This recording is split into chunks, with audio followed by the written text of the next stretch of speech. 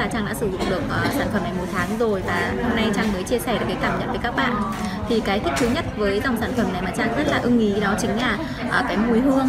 Uh, sản phẩm này thì mùi hương của nó không hề gay gắt nó rất là dịu và nhẹ nhàng. Cái thứ hai mà Trang rất thích ở cái sản phẩm này đó chính là khi sử dụng các bạn sẽ thấy rất là uh, nhẹ nhàng không gây ra cái tình trạng là khô và rát sau khi sử dụng sản phẩm. Em là Thúy và năm nay thì em 30 tuổi và hiện tại thì em có hai đứa nhỏ rồi. Em em thường xuyên xảy ra cái tình trạng là viêm nhiễm phụ khoa đó.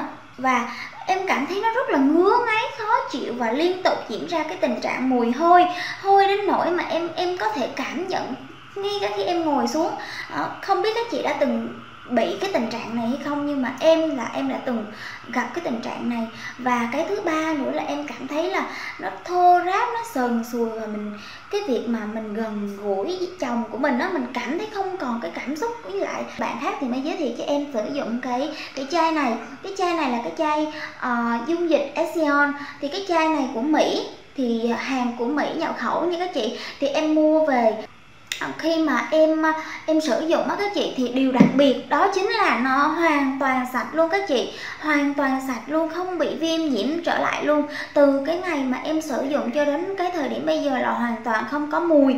Nó rất là à, gọi là mềm lắm nó mềm mại mà nó rất là thích luôn các chị.